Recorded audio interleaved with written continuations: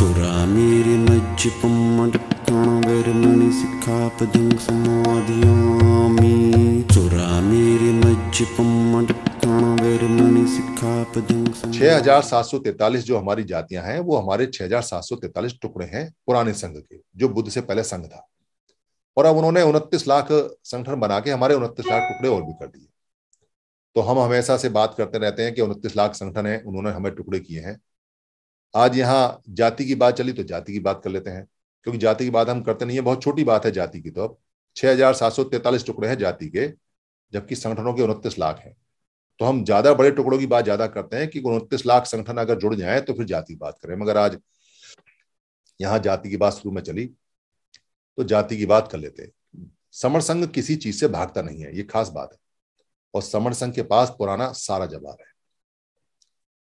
जो प्रमुख रूप से नॉर्थ के अंदर जो जातियाँ चलती हैं, जिनका बार बार ज़िक्र होता है, वो जो जातियों की प्रैक्टिस कर रहे हैं और जातियों के अपने साथ लेके चलते हैं और जातियों को अपने सीने से चुपकाए बैठे हैं और दिन रात दिन रात कुड़ते रहते हैं कि हमारी ये जाति, हमारी ये जाति, हमारी ये जाति। आप किसी भी जाति वाले से पूछ लेना, यहाँ दो सौ लोग हैं, अगर उनका जाति में किसी का यकीन है तो वो रात भर सोचे। कल दिन भर सोचे और फिर शाम को आके बताए कि जो उसकी जाति है, वो बनी कैसे? वो अपने बुज़ुर्गों से पूछे, अपने घर वालों से पूछे, सारी दुनिया जहान की किताब पढ़ ले और फिर आगे बताए कि उसकी जो जाति है, वो पहला ज़िक्र कब आया, कौन सी किताब में है, किसने बनाई, कैसे बनाई, क्या जाति का मतलब है? बता नहीं सकता, क्योंकि है नहीं। बताए तो जब ना जब हो। इसलिए जितने भी लोग लड़ रहे हैं और झगड़ रहे हैं और जातियाँ लेके बैठे हुए हैं, वो सब फर्जी हैं। वो है ही नहीं कहीं। कहीं नहीं है सिस्टम में पूरे में। बुद्ध के पूरे साहित्य में, क्योंकि इतिहास बुद्ध से आरंभ होता है तो 6743 जातियों में से अगर ये सारी जातियाँ तभी से चली आ रही हैं, या कुछ जाति भी मान लें, आधी मान लेते हैं, तीन हज़ार मान लेते हैं, दो हज़ार मान लेते हैं तो इनके नाम तो होने चाहिए थे। इतना मोटा मोटा साहित्य लिखा हुआ है पाली के अंदर उसमें एक सिंगल जाति का नाम नहीं मिलता। एक आध जाति का नाम तो मिले तो एक भी जाति का नाम नहीं मिलता।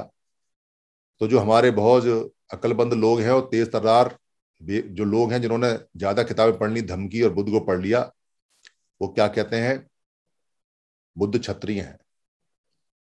भाई, पहली बात तो यह है कि क्षत्रिय कोई जाति नहीं होती। दूसरी बात यह है कि छह शब्द पाली में नहीं होता, त्रय शब्द पाली में नहीं होता। और कहीं नहीं मिलता। बुद्ध का जो नाम मिलता है, वो खेतीय मिलता है। तो बुद्ध खेतीय है। खेतीय मतलब जो खेत में काम करते हैं। खेतीय से ही खाती बना है, खत खतौनी बना है और खेत बना है। और खतरी बना है। खत्ती बोलते हैं। और खेत से ही बाद में संस्कारित करके, उसको मॉडिफाई करके, जब उसको हिंदी में डब बनाया गया तो खेत को क्षेत्र बोला गया। इसलिए हम क्षेत्रफल नापते हैं, क्षेत्रफल नहीं नापते। तो क्षेत्रफल क्या है इसका? क्षेत्रफल क्या है? कितना क्षेत्र है? हम कहते हैं कितना क्षेत्र है। दरअसल ये खेत को बोलते हैं कितना खेत है। और ये खत खतौनी शब्द तभी से चलता आ रहा है। तो बुद्ध क्षत्रिय नहीं थे, खेतीय थे। और खेतीय बहुत सारे लोग थे। बाद में छतरी वाले लोग होने लगे, जिनके ऊपर छत होती थी। तो छतरी वालों को, छत वालों को छत बोलने लगे। कपड़े की छत हो या फूस की छत हो या किसी भी छत वाला हो, या छत पड़ती थी तो छत वालों को छतरी और खेत वालों को खेतीय बुला करते थे। बाद में क्षत्रिय किया गया। तो कहते हैं कि जी क्षेत्रीय का मतलब लड़ाका मतलब लड़ने वाले होते थे। अरे भाई, बेवकूफो लोग। जब बुद्ध जैसा व्यक्ति, जब सिद्धार्थ गौतम जैसा व्यक्ति भरी जवानी में ये कहता है कि मैं लड़ूँगा नहीं तो जो लड़ने से मना कर रहा है और जो खेतों में काम कर रहा है और खेत के पानी के लिए वो लड़ रहे हैं आपस में, और वो सारे सारे किसान और खेतियाँ हैं, और उनका तो नाम भी साक्य है। साक्य, शाक्य नहीं, शैपाली में नहीं है, साक्य है। साक्य का मतलब है साग सब्ज़ी उगाने वाला। तो तो खेती लोग हैं, साग सब्ज़ी उगाने वाले लोग हैं। वो किससे लड़ेंगे? तब तक तो ना सेना बनी, ना सेना का आविष्कार हुआ। चंद्रगुप्त मौर्य के समय पहली सेना बनी है। तो सेना, जब सेना ही नहीं थी तो क्षेत्रीय, आज के हिसाब से जिसको कहते हैं, क्षत्रिय है तो काय का क्षत्रिय है? जब कोई हथियार नहीं जब कुछ लड़ाई नहीं, जब सेना नहीं तो इतना तो समझ लो भाई। तो समझने को तैयार नहीं है, बुद्धिमान ज़्यादा है। तो फिर एक बुद्धिमान निकल के आता है। वो कहता है जात क्यों नहीं थी जी? उपाली नाई नहीं था? देखो कितना उपाली नाई का ज़िक्र है। अरे भैया, वो उपाली नाई एक नाम है। नाई शब्द कहीं पाली में, उसके अलावा कहीं है नहीं, और उपाली उपाली इस्तेमाल होता है। नाई भी फेक है, नाई कोई शब्द ही नहीं है। तो बाल तो कटते थे। तो बाल कटने वालों को क्या बोलते थे?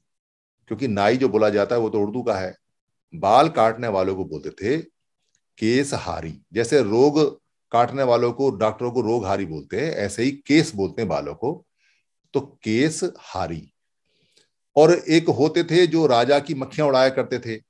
राजा की मक्खियाँ जब उड़ाते थे या जो प्रमुख आदमी होता था उसकी मक्खियाँ उड़ाते थे तो इसका एक बाद में नाम पड़ा केस कप्पक कप्पक का मतलब होता था जो कप करता है, जो हटाता है, सिपाही जो होता है, एक तरह से, जो अडली होता है। और केस माने केस वाला, बाल वाला सिपाही या अडली। तो केसहारी नाम होता था, यानी कि जो बाल काटने का काम करते थे या बालों को संवारने का काम करते थे, उनको केसहारी बुला करते थे। तो कहते, जी, सुनित भंगी का नाम नहीं सुना आपने? साहित्य में सुनित भंगी का नाम आता है। आप कैसे कहते हो, भंगी तो थे उस समय। सुनित भंगी का आता है। कहानी चलती है, सुनाते हैं कि एक बार एक आदमी सड़क साफ़ कर रहा था तो उधर से बुद्ध अपने भिक्खुओं के साथ आ रहे थे तो वो बुद्ध को देख कर डर गया और वो छुप गया। बुद्ध ने उसे दूर से देखा, फिर उसको बुलाया, फिर बुला के, इधर आ, क्या नाम है तेरा? उसने कहा, मेरा नाम सुनित है, सुनित भंगी है। तो उन्होंने कहा कि हम तुझे सिखाएँगे, पढ़ाएँगे। फिर उसको बुद्ध ने दीक्षा दी और वही मंत्र मारा और वो बड़ा ज्ञानी हो गया। वो फिर सुनित भंगी, क्या बोलते हैं उन्होंने अपने उसमें? शामिल कर लिया। तो भंगी नहीं, नहीं था। अरे भाई थोड़ा तो सोच लिया करो। पुराने समय में बुद्ध गंध कुटी में रहा करते थे जो फूस की छान की बनाकर रहा करते थे। और चार महीने तक जो बुद्ध और बुद्ध के भिक्खु हैं बरसात में निकलते नहीं थे क्योंकि कोई पक्की सड़क ही नहीं थी। पगडंडियाँ थी और कीचड़ में हो जाया करती थी और सारे में जंगल थे। वो जंगलों को साफ़ साफ़ कर करके मैदान बनाते थे वहाँ वो पढ़ाया करते थे। तो राजा की व्यवस्था नहीं थी साक्य कुल के अंदर, ना ही कुलियों के अंदर गण व्यवस्था थी। तो राजमहल कहाँ से आए जब राजा नहीं थे? खेतिहार लोग थे, वो खेत में काम किया करते थे। तो वहाँ जितने मकान थे, कच्चे थे और हर व्यक्ति अपना काम करता था और बुद्ध के साहित्य में लिखा हुआ है कि बुद्ध और बौद्ध बिक्कू जो थे, वो अपने लेटिन का उठाने का, साफ़ करने का, सफ़ाई का काम खुद किया करते थे, वो किसे कराते नहीं थे तो भाई ये सफ़ाई का काम कर कौन रहा है? ये सफ़ाई की नौकरी किसने दे दी? ये जो भंगी जो लोग हैं, जिनको आज सफ़ाई करके बोलते हैं, ये ज़बरदस्ती अपने आप को सफ़ाई सफ़ाई करके जाते हैं, वहाँ सफ़ाई की नौकरी नहीं, एक वहाँ बिल्डिंग नहीं, एक वहाँ सड़क नहीं, बस किसका घर साफ़ करने जा रहे हो? कौन सी म्यूनिसपैलिटी है वहाँ पे? कौन सी नगर पालिका बन गई वहाँ पे? बस थोड़ा बहुत तो सोच लो। बस सोचने का काम ही कर लो, पढ़ने का मत करो कि पुराने समय में जहाँ अभी लोहा भी नहीं आया ढंग से और एक ईंट नहीं बनी ढंग से, वहाँ सड़कें बन गई और वहाँ सफ़ाई हो रही है। काय की सफ़ाई हो रही है? कौन सफ़ाई करेगा? तो ये बात समझ में नहीं आती। तो लोग कहते हैं, भंगी शब्द तो है। हाँ भाई, भंगी शब्द है पाली के अंदर, इसमें कोई शक नहीं है। और जो भंगी शब्द है, वो बड़ा ऊँचा है। भंगी शब्द का मतलब है कि जिसने अपने राग और द्वेष और मोह मूर्ता को भंग कर दिया है, भंजन कर दिया है। भंग का मतलब होता है विखंडित करना टुकड़े टुकड़े करना। कोई भी चीज़ अगर भंग होती है तो उसको कहते हैं ये भंग हो गई, यानी टुकड़े टुकड़े हो गई। तो सबसे पहला जो भंगी है, वो बुद्ध है। क्योंकि बुद्ध ने सबसे पहले, सिद्धार्थ गौतम ने सबसे पहले अपने राग, द्वेष और मोह मूर्ता राग का मतलब होता है जो मन के अंदर होता है, ये चाहिए चाहिए चाहिए। देश का मतलब होता है जो मन के अंदर होता है, ये नहीं चाहिए नहीं चाहिए नहीं चाहिए। और मोह मूर्ता का मतलब होता है कभी चाहिए, कभी नहीं चाहिए। असमंजस की स्थिति में रहता है। तो ये तीनों ही स्टेज उसने भंग कर दी। सिद्धार्थ गौतम ने तो बुद्ध हो गए तो उनको भंगी भी बोलते हैं। इसलिए उनका नाम भंगवंतु भी है। भंगवंतु मतलब भंग करने वाले। भंग करने वाले। इस भंगवंतु से भगवंतु पड़ा और भगवंतु से भगवान हो गया। तो भंग, भंगी नाम तो है और बहुत ऊँचा है। बुद्ध का नाम अगर भंगी है तो आप समझ सकते हैं कि कितना ऊँचा ज्ञान है। तो चमार शब्द था क्या? तो पूरे साहित्य में चमारी शब्द नहीं है। पर पूरे साहित्य में चीवर शब्द है। और अब जो आज के समय है उसमें चीवर शब्द नहीं है। उसमें चमार शब्द है। तो कोई ज्ञानी बता दे मुझे कि पुराना वाला जो चीवर शब्द था, वो कहाँ चला गया और अब जो ये चमार शब्द आया, ये कहाँ से आ गया? कोई नहीं बता सकता। और पहले चादर शब्द नहीं होता था, पहले चीवर शब्द होता था, चादर शब्द अब बना है। यानी ये चीवर से जो चमार है, यही जो बने हैं, जो चीवरधारी लोग हुआ करते थे, क्योंकि चीवर में खास बात यह थी कि चीवर को छोड़ भी सकते थे। सौ दिन का चीवर लिया, दस दिन का चीवर लिया, चीवर मतलब स्टूडेंट लाइफ में उस कपड़े को पहनना जो बुद्ध या बुद्ध के शिष्य पहना करते थे। तो उसको चीवर बोला करते थे, उसी को चादर बोलते थे। उसी को आज के समय में लोगों को मान सम्मान में दिया जाता है। वो चीवर ही दिया जाता है जिसको चादर बोलते हैं, जिसको शॉल बोला करते हैं कि ये हम आपको मान सम्मान दे रहे हैं। मतलब भिक्कू के समय का, बुद्ध के समय का सम्मान, वो अभी तक भी चल रहा है। जिसको चादर पहना दी, इसका मतलब उसको मान लिया कि ज्ञानी आदमी है, जानकार आदमी है, इसलिए सभाओं में आज भी दुसाला साल और चीवर चादर चलते हैं। तो वो नहीं मिलता। तो पूरे साहित्य में कहीं चमार शब्द नहीं मिलता और पूरे साहित्य में जाटव शब्द नहीं मिलता। क्यों नहीं मिलता? क्योंकि जो उस समय जिनको चीवरधारी लोग थे, उनका ज्ञान बहुत ज़्यादा था और उनसे बड़ा भंग ज्ञानियों का था। यानी जिन्होंने भंग ज्ञान प्राप्त कर लिया, उनको भंगी बुला करते थे। ये ज्ञानी लोगों ने हमेशा आडम्बर का विरोध किया। इनमें सबसे ज़्यादा विरोध किया भंग ज्ञानियों ने, क्योंकि बड़े ज्ञानी थे। इसलिए उनको मार भी ज़्यादा पड़ी। और उनका प्रताड़ना भी ज़्यादा हुई। और दूसरे नंबर पे जो इनके भाई थे, एक ही परिवार के थे, क्योंकि एक ही साथ काम करते थे सारे सारे सारे, कोई परिवार अलग अलग नहीं थे। दूसरे नंबर पे जो मार पड़ी, वो पड़ी जो चीवरधारी लोग थे। उन्होंने आडम्बरों का विरोध किया। और जब व्यवस्था में जो विरोध करता है, उसको सजा मिलती है। तो ये जो लोग थे, इनको सजा मिली। और सजा क्या मिली? जब युद्ध हार गए, मानसिक युद्ध से हारे, या कुछ लोगों को, इनके, इन्हीं के भाइयों को जिनको आज हम ओबीसी कहते हैं, इनके अगेंस्ट में खड़ा करके और इनके अगेंस्ट में इनको हराया गया तो इनको शहर, गाँव के बाहर नाले पे, कूड़े पर रहने के लिए जगह मिली। खाने के लिए कोई जगह नहीं, जमीनें सारी छीन ली, खेत सारे छीन लिए। खाने कुछ नहीं मिला तो मरे का जानवर का खाना खाते थे, ढोर का जंगल खाते थे, पढ़ाई लिखाई छीन ली। मगर इनका स्वाभिमान नहीं गया। वो स्वाभिमान ही ज़िंदा है जो आज आप और हम यहाँ तीन सौ चौदह बैठे हुए हैं और उसी स्वाभिमान की लड़ाई है। उसी मान सम्मान की लड़ाई है, उसी हक की लड़ाई है। वो आज भी हमारे आदमी के अंदर कूट कूट के भरा हुआ है। बेइज्जती की रोटी नहीं खा सकता, भूखा मर जाएगा, ये गुण आज भी है। चाहे वो भंगी है, चाहे वो आज की डेट में चमार है, क्योंकि दोनों ही सगे भाई हैं। और उससे वह परिवार के अंदर एक भाई जंगल में जाके जानवर को मारने का, मांस लाने का, अंडे का काम करता था, शिकार का काम करता था, और दूसरा भाई खेत में फल, सब्ज़ी और साग सब्ज़ी लाने का काम करता था। ये सारे भाई मिलकर काम किया करते थे, क्योंकि सारे ही समण थे। इस समण की पहचान को खत्म किया गया। और जातियाँ पैदा हुई, जो अभी 400-500 साल पहले हुई।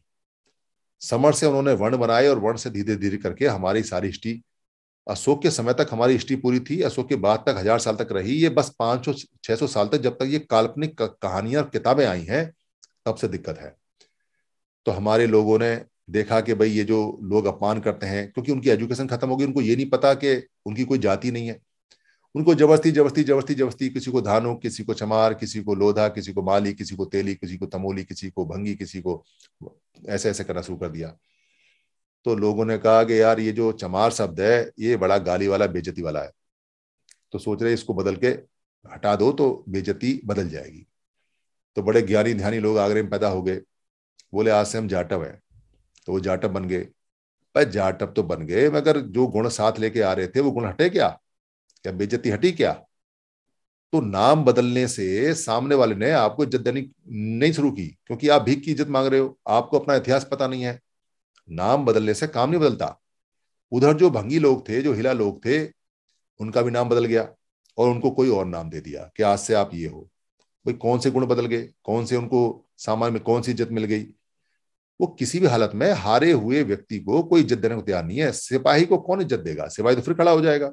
आप वॉरियर लोग हो, आप सिपाही लोग हो, आप मैदान जंग में लड़ने वाले लोग हो, जरा सी हवा मिली, बस जरा सी। कौन सी? बाबा साहब ने जरा सी हवा दी थी। बस संविधान लागू हुआ था। झट सीएम और पीएम के दावेदार हो गए। तीस, चालीस, पचास साल में ऐसी दुनिया में कहीं दावेदारी नहीं होती। साठ, सत्तर साल में आप पीएम के दावेदार हो गए। पीएम की बात करने लगे कि हम पीएम बनेंगे सीएम तो हम चार बार बन लिए। इसका मतलब कि आप पुराने राजा हो, पुराने बासिंदे हो। तो जब आप पीएम, सीएम की दावेदारी करते हो और अपनी राजा की सीट लेने की दावेदारी करते हो तो उस आदमी का भी तो हक है जो आपको राजा नहीं बनने देगा, जो आपको गुलाम बना के रखता है, जो आपको जातियों में तोड़ तोड़ के रखता है, जो आपको संगठनों में तोड़ के रखता है, जो आपको उनतीस लाख संगठनों में तोड़ के रखा है, छह हज़ार सात सौ तैतालीस में तो वो तो तोड़ेगा आपको। इसलिए वो क्या कहता है? अरे भाई, ये सारा का सारा माल चमार ले गए और ये जो जितना भी आरक्षण था, ये सब चमार ले गए और भंगियों को कुछ नहीं मिला तो वो तोड़ता है। दोनों भाइयों को आपस में तोड़ता है।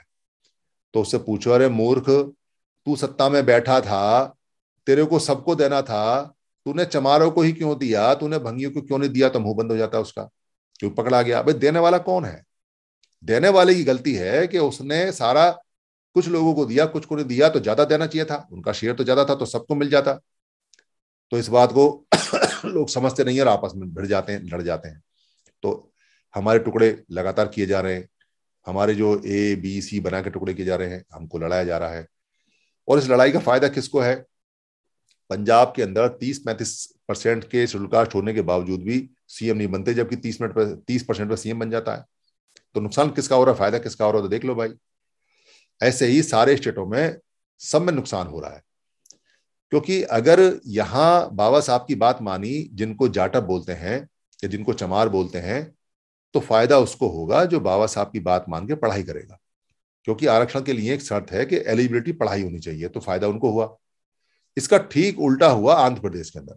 आंध्र प्रदेश के अंदर जो सफ़ाई करने वाले लोग थे, जिनको भंगी बोलते हैं, उन्होंने बाबा साहब की बात मानी और वो पढ़ लिए।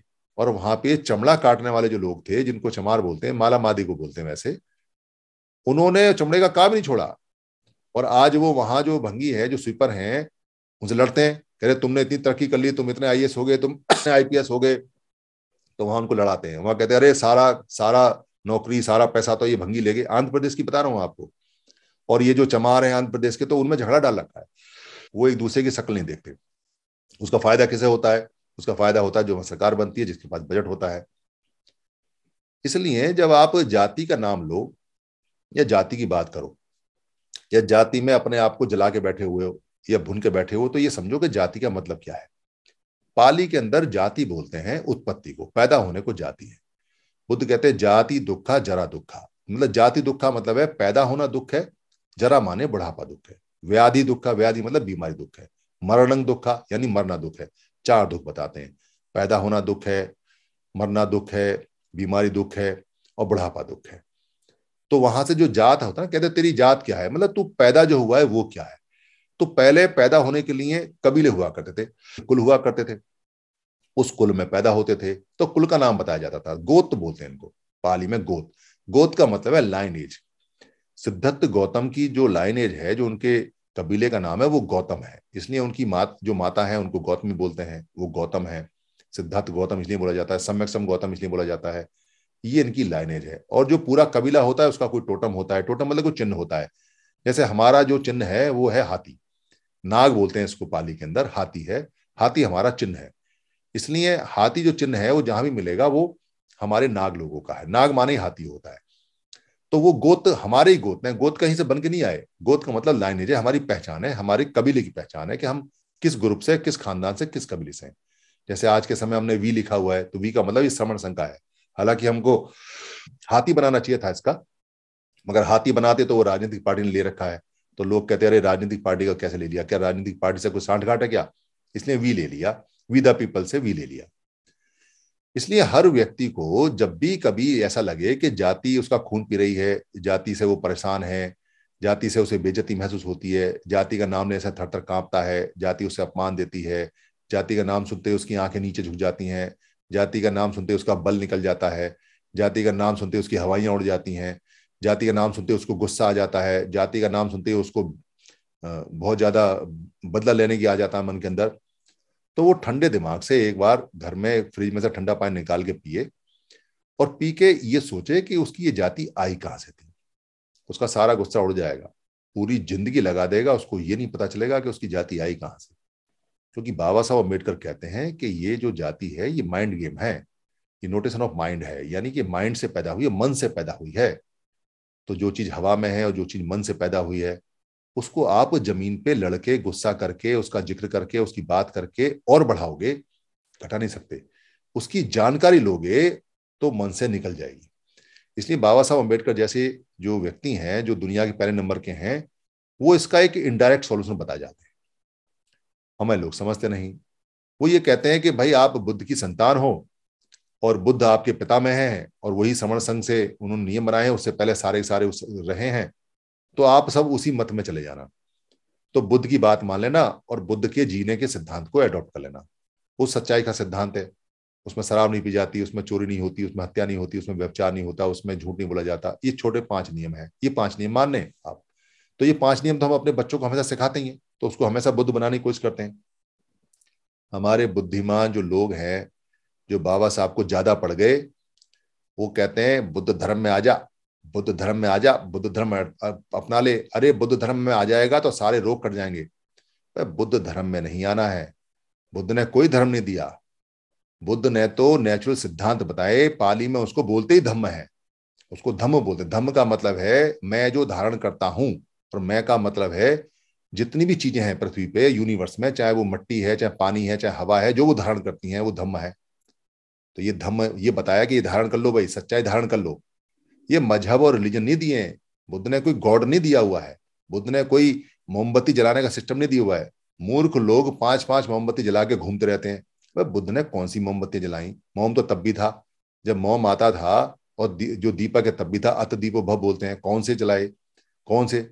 पैरों में पड़े रहते हैं। वो पैरों में पढ़ना ही समझ में नहीं आता। भाई, बुद्ध ने कभी पैर पढ़ने के लिए नहीं कहा। वो बोलते थे पदिखा करो। पदिखा का मतलब है कि जो बताया है उसको देखो।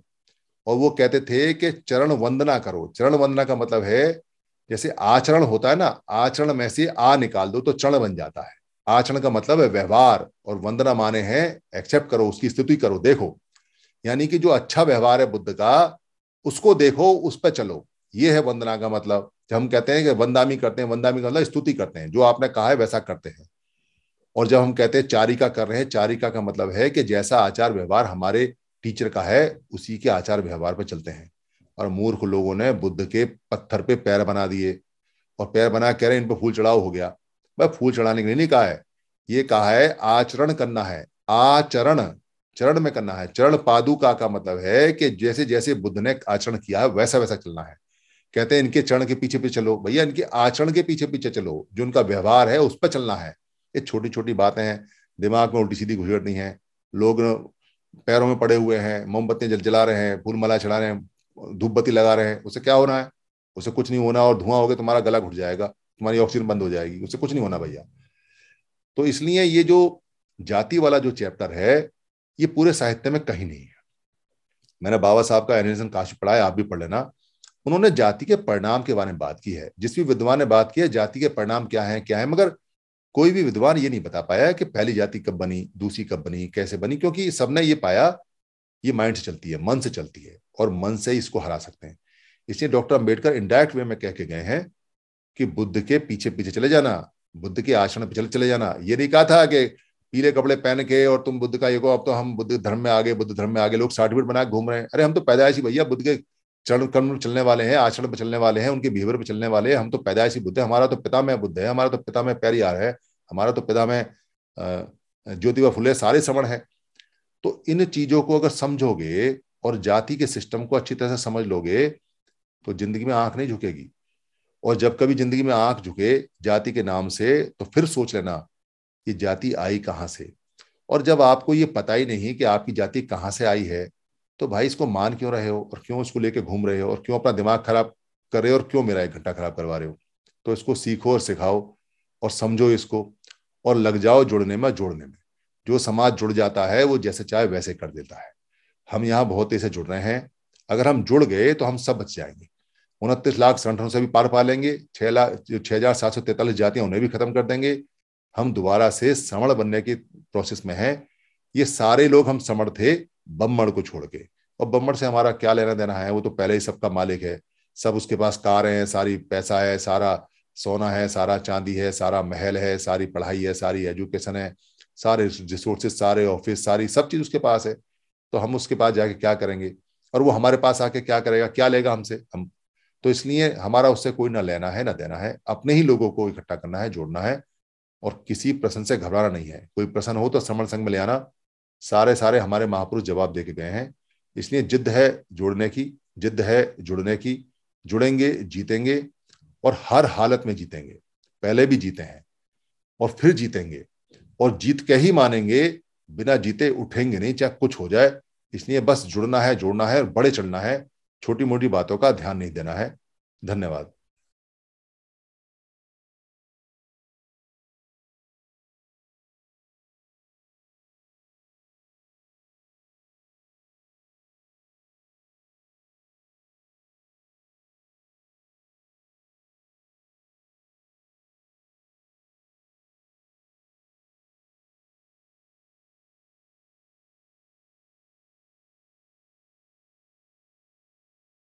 आप सभी से ये निवेदन है कि अगर आपको ये वीडियो अच्छी लगती है या बाकी वीडियो अच्छी लगी हैं, और आपको लगता है कि धर्म की वीडियो किसी को और मिलनी चाहिए या किसी को गिफ्ट में भेजनी चाहिए या किसी भाषा में कन्वर्ट करके आगे बढ़ानी चाहिए या प्रिंट में, किताब में छापनी चाहिए या इसकी जो ऑडियो है उसे निकाल के भेजना चाहिए या इसका किसी पार्ट को इस्तेमाल करना चाहिए तो आपको लिबर्टी है, आपको छूट है। ये सभी कॉपीराइट फ्री हैं। आप अपने फेसबुक पे, अपने पेज पे, अपने ट्विटर पे या अपने हैंडल पे या लिंक को कहीं भी शेयर कर सकते हैं, कहीं भी चला सकते हैं, आप यूट्यूब पे भी चला सकते हैं, अपने नाम से चला सकते हैं। इसके लिए इजाज़त लेने की या परमिशन ले, लेने की बिल्कुल भी ज़रूरत नहीं है। आप इसको अपना मान के चलाएँ, क्योंकि धम्म सबका है। हम जो बताते हैं, वो भगवान बुद्ध का है या महापुरुषों का है। उन्हीं की बात को सरल भाषा में बताते हैं। हमारा सिर्फ़ इतना राइट है इस पर कि हम इसको लोड कर देते हैं। बाकी सारी ये पूंजी आपकी है। धन्यवाद। ऋणी गच्छ